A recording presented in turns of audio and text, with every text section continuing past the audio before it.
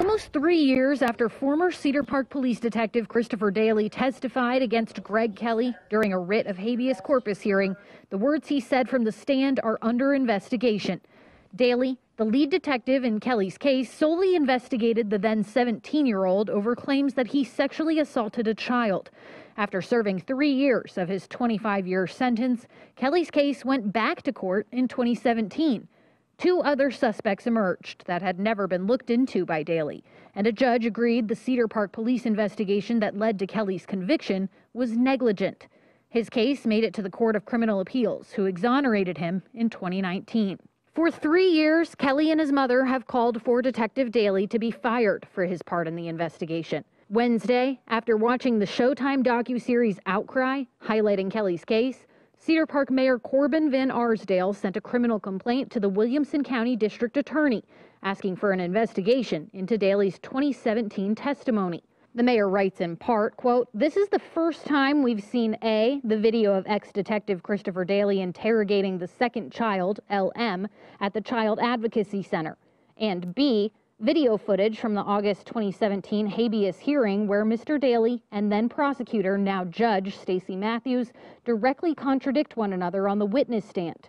Mr. Dailey appears to have committed aggravated perjury while testifying on the stand.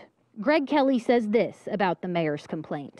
I think right now, with everything going on, I think they became pressured to do something.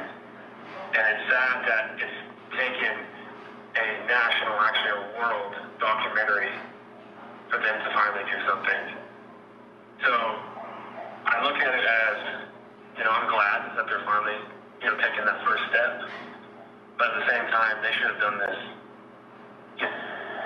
last year. They should have done this two years ago, three years ago. Keith Hampton, the attorney who represented Kelley to get him exonerated, says this. At least for the citizens of Cedar Park, this is a good first step.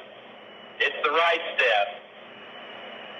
On the other hand, I hate to point it out, but he is the only person uh, involved in the Greg Kelley case who has been held accountable. Everybody else has gotten skate uh, so far except for him. Cedar Park Police Department has confirmed Dailey has resigned effective immediately. Kelley says this about his resignation. I know that man should never have a badge again. I'm glad that he's never going to do this to somebody again.